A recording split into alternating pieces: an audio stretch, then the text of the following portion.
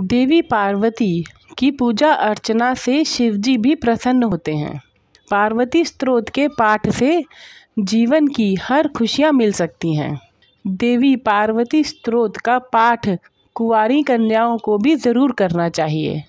इस स्त्रोत का पाठ करने से विवाह में आ रही बाधाएँ माँ पार्वती जी दूर करती हैं। श्री पार्वती स्त्रोतम हर कंठ ग्रहानंद मिलिताक्षीम नमाम्युमाम कालकूट विष सर्प। जात मुधर्व गमामिव। पार्वती मोश धीमे काम पर्णा मृगयामहे शूली हलाहलम पीत्वा। यया मृत्युंजयो भवत।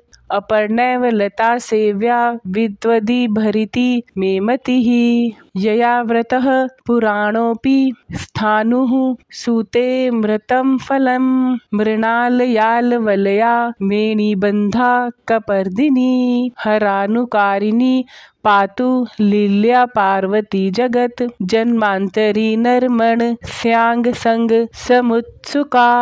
सलज्जा चान्तिके सङ्ख्याः पातु न पार्वती सदा। इति श्री पार्वती स्त्रोतम संपूर्णम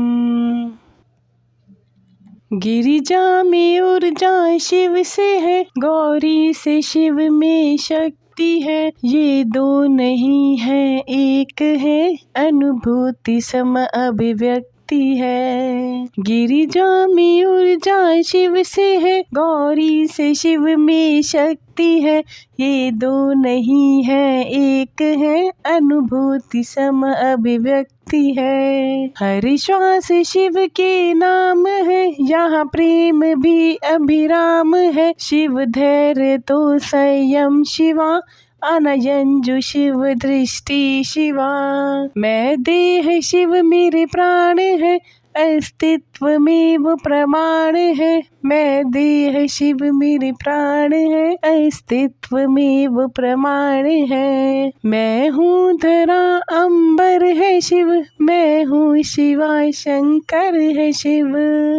विचलित न हो कभी कर्म से परिचित रहे हर धर्म से नहीं बिन एक दूजे से है। यही भीष तो संपूर्ण है। यही शक्ति तो संपूर्ण है। यही शक्ति तो संपूर्ण है।